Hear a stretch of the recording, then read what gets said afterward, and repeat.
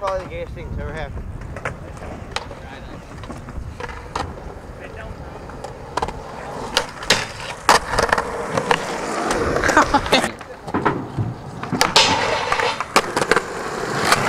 With a drink. I don't know what that looks like. this.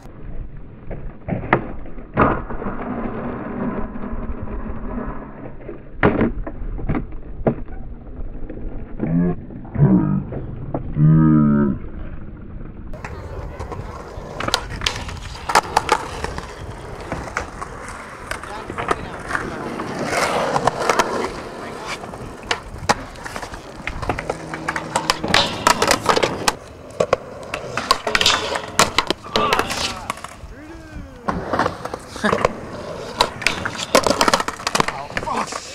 fuck.